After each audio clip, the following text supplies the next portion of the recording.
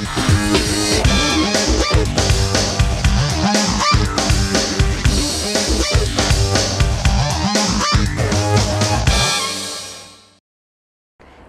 bij de tweede uitzending van Jobmatch. Het programma waarin we op zoek gaan naar werk in de regio Helmond. En we gaan kijken wat de mogelijkheden zijn om in een bepaalde functie aan het werk te gaan.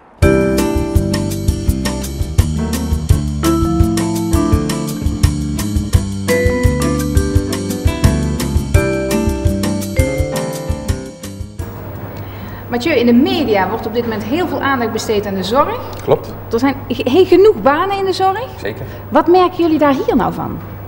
Nou, we hebben heel veel contacten met zorginstellingen. Eh, zij zoeken inderdaad heel veel mensen, eh, met name op eh, niveau 3 en 4. Eh, maar er zijn natuurlijk mogelijkheden om onderaf in te stromen en door te groeien naar, eh, naar niveau 3 eh, bij voorkeur. En de komende jaren is er heel veel zorg nodig. in de zin van, er zijn mensen die de vertrekken uit de zorg vanwege de vergrijzing. En door die vergrijzing is er ook steeds meer vraag naar zorg. Dus ja, er wordt, de komende jaren is dat in ieder geval een branche waar heel veel vraag is naar mensen. en kun je dus een goede baan vinden. En genoeg mogelijkheden om daarin in te stromen en door te stromen. Ja, gelukkig zijn de zorginstanties zover dat ze ook mensen op gaan leiden. En eh, proberen we met z'n allen, alle partners, zo goed mogelijk mensen daarin te begeleiden en toe te leiden naar die zorg. Oké, nou ik zag hier op het bord al genoeg vacatures eh, in de zorg. Ja, klopt. Wat zou nou een mooie functie zijn om vandaag eh, daar eens een kijkje te gaan nemen? Nou, eh, ik, ik heb hier eh, een eh, verzorgende niveau 3 Ja. eh, of verzorgende IG, individuele gezondheidszorg. Ja. Dat is denk ik een mooie plaats om eens te gaan kijken wat houdt het nu in en wat doen mensen nu in de zorg. Dus ik zou zeggen, ga er eens naartoe. Ja, dan nemen we deze mee Oké. en dan gaan we kijken. En waar mag ik dan naartoe? Waar stuur je me naartoe? In dit geval de zorgboog. De zorgboog. Nou, prima. We gaan naar de zorgboog.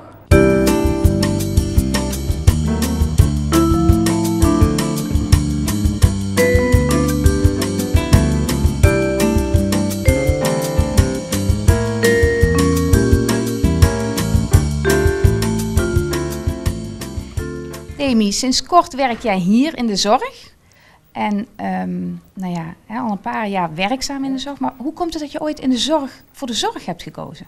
Nou, vroeger eh, deed mijn oma vrijwilligerswerk bij Dementerende.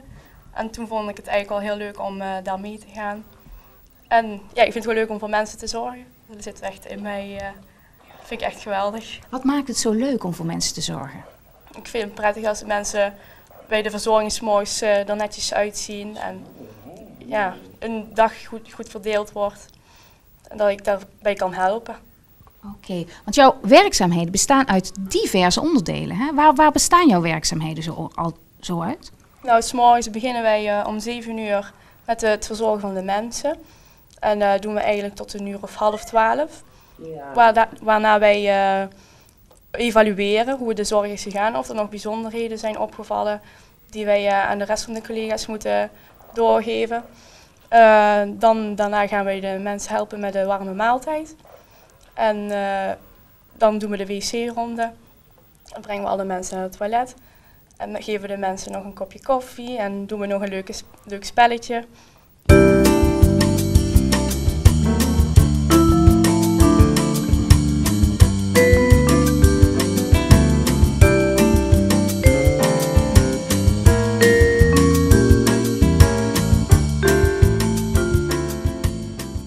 Beeld wat ik onder andere heb van de zorg is dat het ook veel met medicijnen toedienen te maken heeft. Maar ik krijg hier ook wel een heel ander gevoel bij. Dat het vooral ook de zorg inderdaad, welzijn, mensen een goed gevoel geven.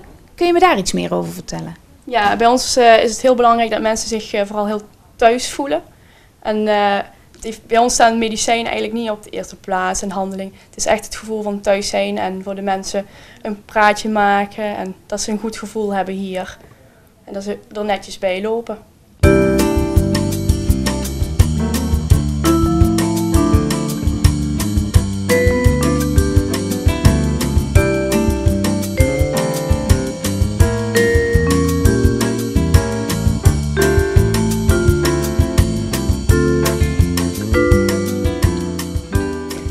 Hoor jou zeggen hè, dat zorgen voor mensen jou enorm aanspreekt. Ik kan me ook wel voorstellen dat het soms ook echt zwaar werk is. Wat maakt het werk nou zo zwaar? Uh, de, de, reacties van de mensen. Je moet altijd dingen bedenken om de mensen rustig te houden en te krijgen. Dus, en uh, bijvoorbeeld ook als mensen agressief zijn, wat je moet doen. En je moet heel, heel erg letten op de reacties van de mensen.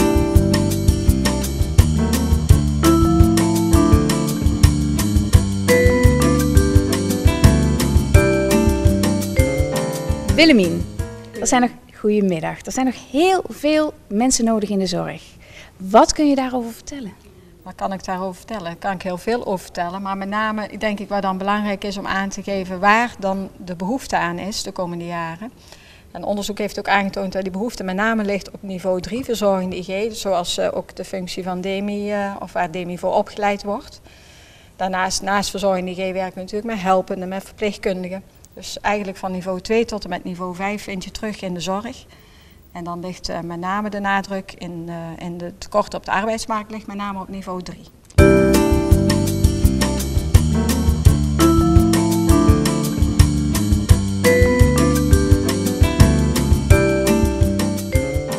Dat zijn belangrijke eigenschappen. Ik zeg al, het begint met een hart voor de zorg. Dus je moet ook en dat is een moeilijke eigenschap om die uh, duidelijk te maken. Maar je moet toch wel een, een, stukje betrokkenheid hebben met de bewoners. En daarbij professioneel kunnen blijven. Want dat is natuurlijk ook de andere kant van het verhaal. Dus dat is heel belangrijk. Dat je ook affiniteit daarmee hebt met ouderenzorg met name. Want dat speelt dan met name binnen de zorgboog.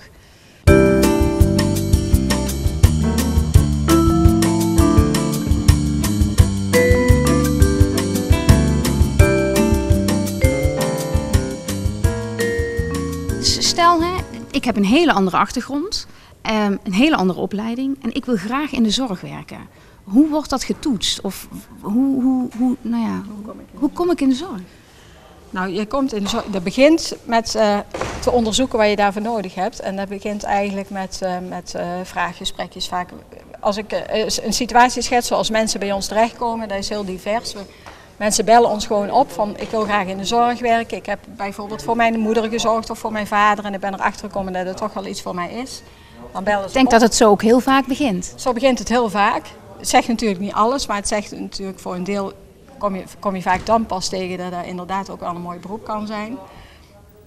Maar dan, dan komen de vragen los. En dan gaan we met mensen in gesprek en dan kijken we waar hun affiniteit liggen. Dan geven we aan welke mogelijkheden er zijn, maar ook wat ze daar zelf voor moeten doen. En het eerst, een van de eerste dingen die je eigenlijk moet doen is een opleiding volgen.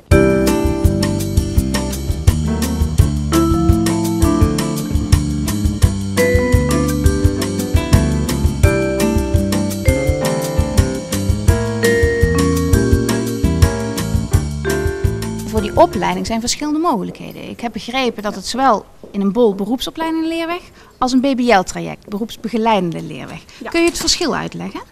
Nou, een beroepsbegeleidende leerweg, om daar maar even mee te beginnen. Want wij, als wij mensen opleiden en we doen dat intern, dan komen mensen bij ons in dienst. Dan krijgen ze ook een leerarbeidsovereenkomst. En dan gaan we samen met het ROC, volgen mensen dan de beroepsbegeleidende leerweg. Dus in mhm. wezen is dat de beroepsbegeleidende leerweg in de praktijk. Je gaat een aantal dagen in de 14 dagen, twee dagen naar school en de overige uren werk je in de praktijk. Als je een beroepsopleidende leerweg hebt, dan is je eerste contact veelal met school. Nou zag ik er heel veel vrouwen lopen, maar het, is niet echt een, het hoeft geen vrouwenberoep te zijn. Het is ook geen vrouwenberoep, alleen het lijkt een vrouwenberoep. Maar iedere man kan het ook doen. Zeker mannen met een zorghart, die zijn van harte welkom. En ze kunnen erop rekenen dat ze gekoesterd worden. Want het wordt goed door de vrouw in de watten gelegd. Ontzettend door de vrouw in de watten gelegd. Hoe vaak start er een opleiding voor de zorg? Nou, we proberen in ieder geval ieder jaar te starten met een opleiding, dan wel helpende, dan wel verzorgende IG. En het toeval wil dat we in september weer gaan starten met een opleiding verzorgende IG. En daarvoor zijn we nu volop aan het werven. En daarvoor verwijs ik mensen terug naar onze website www.zorgboog.nl. En dan kunnen ze ook lezen wanneer de informatieavonden zijn.